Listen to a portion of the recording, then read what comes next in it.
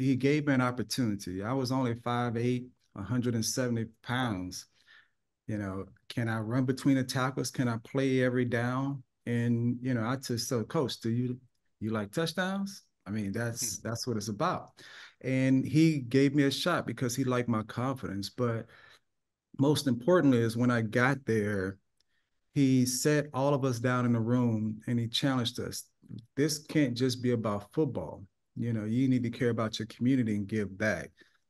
And I took that challenge and you know, he inspired me. There's someone who supported me. They're like a lot of people don't know this is that my second year in Tampa, my three youngest brothers and sisters and sister came to live with me.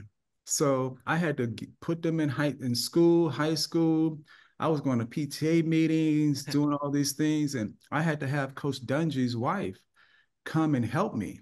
You know, I had no idea, so I'm learning to, you know, like going to the PTA meetings, the right questions to ask. You know, those things. But you know, I I understood how to parent because I've been doing it a long time, but they were there for me in my time of need.